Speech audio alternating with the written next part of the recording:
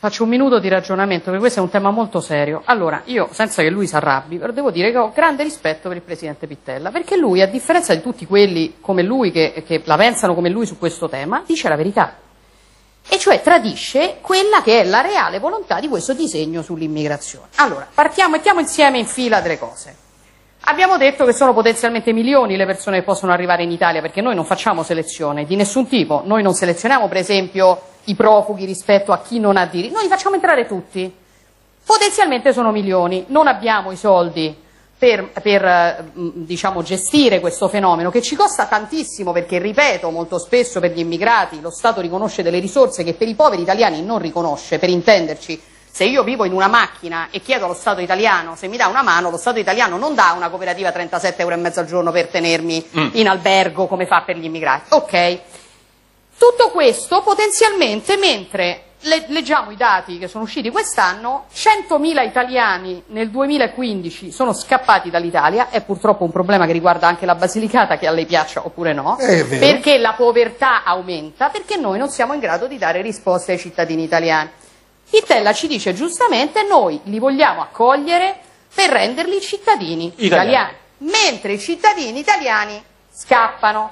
Quindi il disegno, secondo me, e Pittella lo dice, è sostanzialmente un disegno di sostituzione etnica. Aggiungo un elemento. Io non posso pensare che diciamo, tutte queste persone non si rendono conto di che cosa stanno facendo, quindi perché secondo me eh, tutto questo perché? piace a chi comanda, al potere Perché? Perché?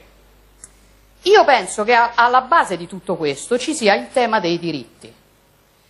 Si dice spesso che gli immigrati in Italia servono perché fanno lavori che gli italiani sì. non vogliono fare, ma questo è falso. Gli immigrati li fanno a condizioni a cui gli italiani e gli europei spesso in generale non sono disposti a fare.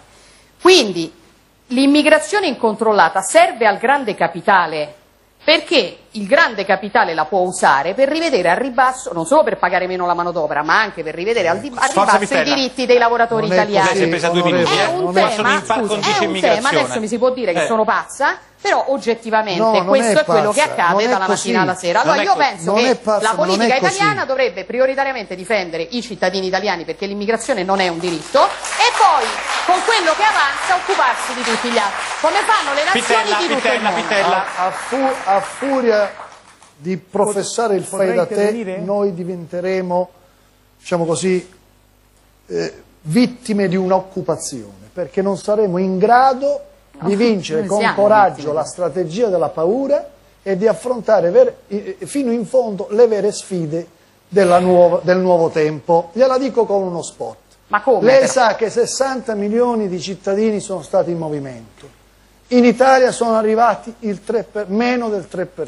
Abbia pazienza. Il, le faccio Quali il caso della mia regione. 1700 nel 2015 sono stati i cittadini che sono andati altrove. 1700. Ok, 1500 vanno via dalla Basilicata. Bene. Io provo a far di tutto perché quei cittadini restino o sì. tornino. Sì. Utilizzando che cosa? No. Gli strumenti, onorevole, gli strumenti Presidente. che abbiamo a disposizione, quali sono? I fondi europei, gli attrezzi del mestiere, i fondi europei e il tentativo di far conoscere ai nostri ecco. giovani soprattutto dopo diploma, dopo laurea, quali sono gli strumenti che l'Europa ci Quanti consegna. Quanti immigrati sono arrivati? Autoimpresa, autoimpiego. Presidente, Presidente, quanti immigrati ci sono 2000? Autoimpiego. Eh, fate fare il mio mestiere, Presidente. Sì, 1500 se ne sono andati via dalla eh, Basilicata. Quanti immigrati sono arrivati? Ad oggi sono 2240. Quando cioè, mi so, questo io mi sono insediato, si chiama ripopolamento. Erano, erano non, Quando erano? Erano oh, tra 5 e 600. Ok.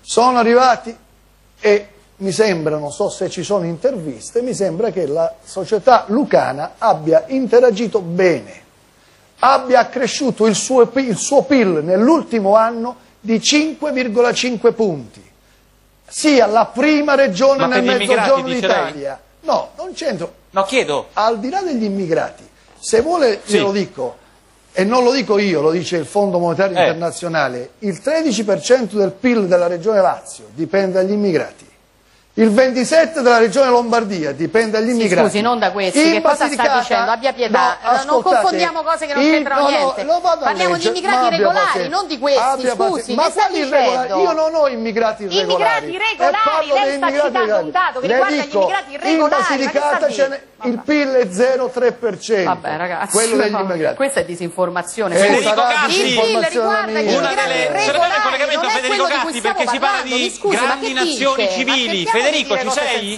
Ecco.